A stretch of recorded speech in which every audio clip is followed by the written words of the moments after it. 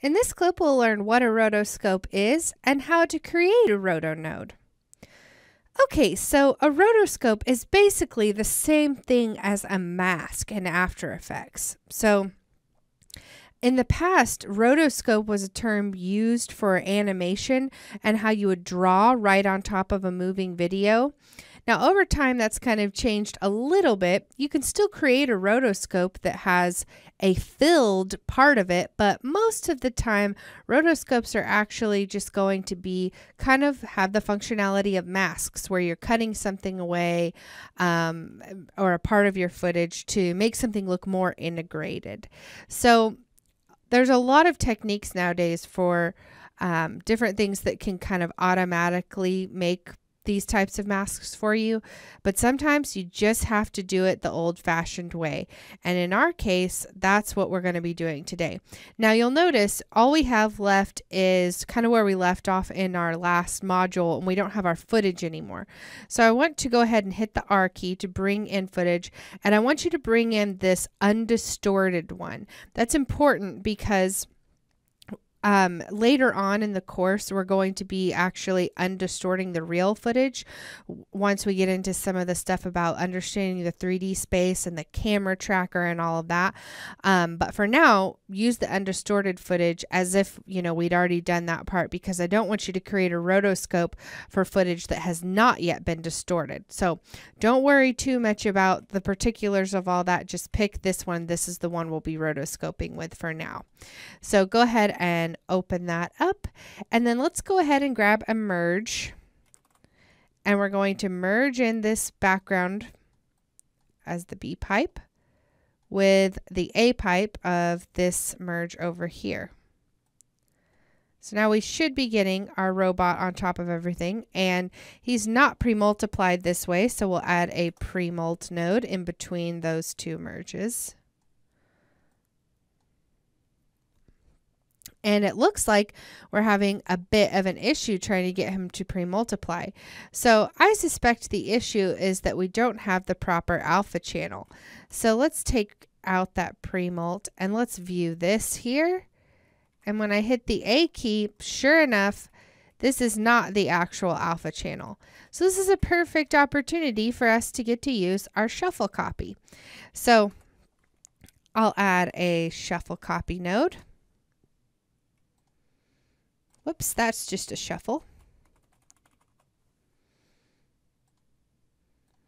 And we'll hook our merge in here. Our 2 is the second thing we want. You remember that? And then we want our alpha to come from a new place. So I'll go ahead and we'll add another shuffle node. We'll shuffle shuffle this alpha out from over here. And we'll just choose alpha right there. Name it alpha. And then our shuffle copy will plug into the alpha. And let me just clear that out really quickly and reopen that. And now we should be getting our alpha. So we're taking our RGB from this part of the merge, and then we're taking the alpha from the original. And we're just using a shuffle to kind of keep it in line with everything else. But we could have grabbed it straight from the read node if we chose. Okay, so now let's try this. We'll merge that there. And perfect. Now it looks like we intend. Okay, so let's go ahead and use our roto node. So the roto node is going to allow us to take away from this robot so we can make him look like he's actually standing in the cornfield um, or whatever kind of field this is. So normally you don't even really need to worry about the robot initially. You're just going to start adding the roto. So type in roto and it has this background pipe. So I'll just plug it right into my footage here. And to start creating the roto, most of the time you're going to start with this Bezier here. Now cusp Bezier just means that it doesn't have any handles, so it's going to be hard lines. And Bezier is going to be kind of maybe, maybe what you're more used to in After Effects with the pen tool and creating those types of uh, curves. So that's what I'll start with here. Now, I don't really even need to look at the robot. What I'm really more focused on is the field itself and kind of where the robot's going to be sitting in that field.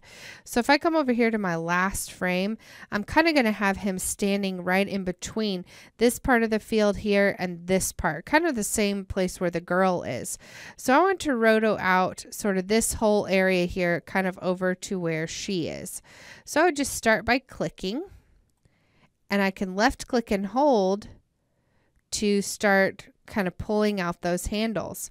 Now I need to go back up, so I'm going to grab this handle, but you see when I do that, it moves the whole thing. So I actually need to hold down control and then I can break that handle and pull it up. Now I can allow myself to kind of do that. Now you see I I added a few more points there, and that's because I held down control while I was still holding down the original click. So you have to let go, then hold control to move it. Okay. And then you can just start going through. And again, that's kind of what happens there. So that's something that you can do in After Effects where you can hold it at the same time in Nuke, you have to actually release it and then begin to draw. And that's not the worst of our problems, so that's okay. We can get used to that. So you're just going to continue down through here and draw all these nice little curves. And if you need to move one, just kind of come over here and you can grab it by the handle or by the middle.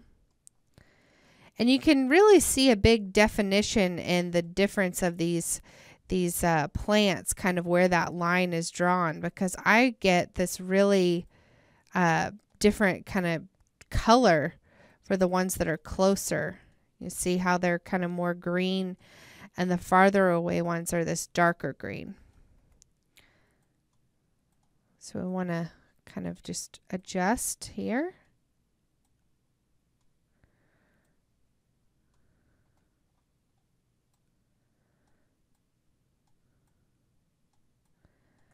And then here as well. And just so you're not having to watch me draw this whole thing, because it is rather complex, I'll just go ahead and kind of cap it off there.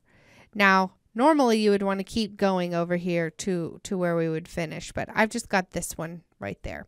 So with this rotoscope here, how do we actually implement this to start working with our robot? Um, and how do we then, you know, make it actually cut away from him? In between lessons, I'll go ahead and finish off the rest of this rotoscope but we'll come back and I'll show you how to get it to work with the robot in the next clip.